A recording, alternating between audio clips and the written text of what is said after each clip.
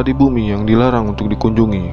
Mungkin sebagian dari kita berpikir bahwa kita bisa pergi ke mana pun, ke tempat apa pun yang kita inginkan dengan uang. Karena kemajuan teknologi baik dari jasa dan alat transportasi yang sudah modern.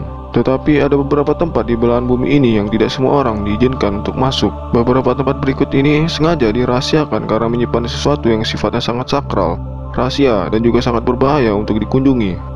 Inilah daftar tempat-tempat terlarang tersebut. South Sea Island Sebab dilarangnya karena digunakan sebagai tempat untuk eksperimen saintifik atau ilmiah. Pada tahun 1963, di dalam air dari Iceland, terjadi letusan volcano di bawah air. Dan dalam waktu yang pendek, pulau baru seluas 2,7 km persegi akan terbentuk. Hal ini secara langsung mendapatkan perhatian dari berbagai ilmuwan di belahan dunia. Karena pulau ini bisa menjadi sebagai contoh sebagai formasi pulau dari permulaan dari kehidupan. Berkat embusan angin, benih, serta serangga sampai ke Sea. Ketika tanaman tumbuh, burung-burung mulai berdatangan. Pada tahun 1990 sudah terdapat 20 jenis tanaman yang tumbuh di pulau ini. Gunung penghasil Pulau Sea terbentuk oleh sistem berapi di bawah laut, West Manehe, dan beberapa letusan lainnya. Letusan gunung ini dekat dengan permukaan laut sehingga tidak padam oleh tekanan air. Sejak saat itu, Sea dinamakan dari karakter mitologi Sutter Jaten atau raksasa yang merupakan bahasa mitologi Nordik. Sejak letusan pertamanya, pulau ini telah dipelajari oleh vulkanologi. Kemudian dipelajari oleh ahli botanis dan biologis karena kehidupan mulai muncul di sana. Area 51 Sebab dilarangnya karena untuk wilayah militer dan pengujian senjata canggih. Jauh ke dalam gunung Nevada terdapat pangkalan militer yang diliputi begitu banyak rahasia sehingga pemerintah Amerika Serikat pun menolak untuk mengakui keberadaannya. Pangkalan itu dibangun oleh CIA, dan semua anggota militer dan staf harus mengundurkan diri terlebih dahulu dari departemennya sebelum bergabung dengan badan yang penuh rahasia itu. Sebagai instalasi CIA, pangkalan itu bebas pengaruh dari departemen-departemen pemerintah lainnya. Sekarang ini tanda-tanda di pintu masuk untuk mengingatkan pengunjung bahwa mereka tidak mempunyai hak untuk masuk ke area itu dan juga terdapat satuan-satuan bersenjata yang menjaga garis pertahanan. Dibangun pada sekitar 1950-an di sekitar pangkalan udara Danau Grum dan dekat dengan tempat pengujian atomik Nevada. Area 51 adalah tempat yang sempurna untuk melakukan pengujian terhadap pesawat terbang berkelompok. Wilayah ini mempunyai pembukaan datar yang lebar dan sangat bagus untuk landasan terbang dan pendaratan. Penghuni lokalnya sangat sedikit dan reputasinya tidak menarik bagi para penduduk baru karena banyaknya polisi nuklir di sekitarnya. Semula, area ini dibangun hanya untuk menguji pesawat pengintai. Dan program itu ternyata sangat berhasil sehingga semua pesawat terbang Amerika Serikat diuji diterbangkan di sana.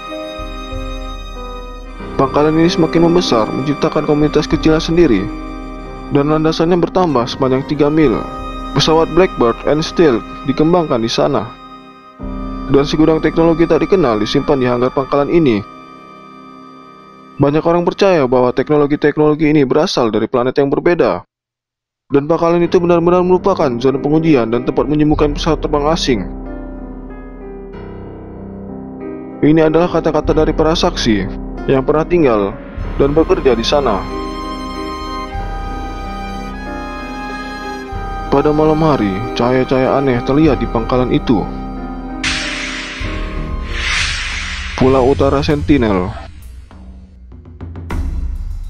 Sebab dilarangnya karena diduduki penduduk aborigin yang agresif Dari langit, pulau ini tampak sangat indah Pantai yang menakjubkan dengan hutannya yang lebat Namun, tak ada wisatawan atau nelayan yang berani menginjakan kaki ke pulau Samudra Hindia ini Karena reputasi para penghuni pulau ini Para pengunjung yang berusaha atau berlabuh terlalu dekat ke pulau Sentinel Utara ini Akan diserang oleh anggota suku Suku Sentinelese menewaskan dua orang saat memancing secara ilegal pada tahun 2006. Mereka tersohor dalam melesakan senjata api dan melempar batu pada pesawat atau helikopter yang sedang terbang rendah untuk misi pengintaian. Mereka menghindar kotak apa pun dari peradaban lain dan bersikeras menolak ikut dari apa pun selain dari pulau mereka.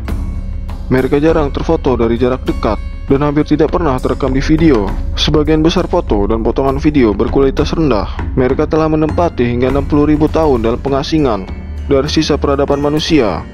Pada tahun 2004, mereka menembak helikopter pemerintah India dengan panah yang terbang melintasi pulau setelah tsunami untuk menemukan apakah para lokal di sana membutuhkan bantuan. Korban terakhir mereka adalah seorang nelayan. Setelah membunuhnya, otoritas India menyuruh warganya untuk menjauh dari orang-orang sentinelese serta pulau-pulau mereka karena tidak adanya pengamatan secara langsung. Populasi Pulau Sentinel Utara diperkirakan mencapai 250 orang.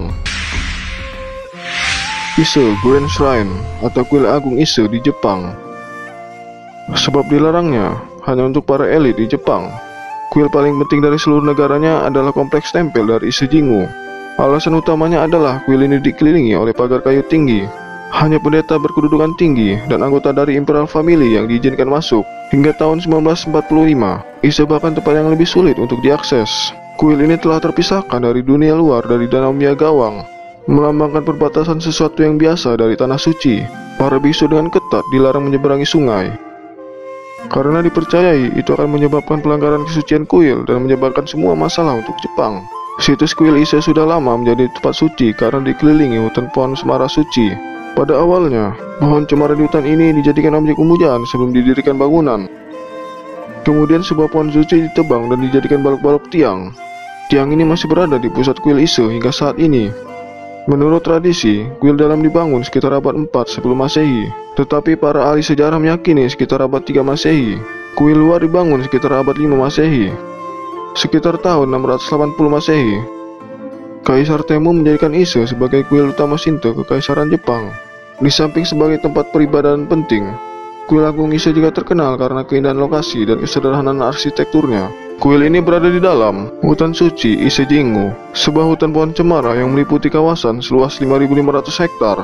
Bangunan utama tiap altar hanyalah sebuah gubuk yang terbuat dari pohon cemara bergaya Jepang kuno. Gubuk ini sulit dilihat karena dikelilingi oleh pagar kayu. Terdapat pula beberapa bangunan lainnya di sekitar altar utama, termasuk taman dan gebang tori.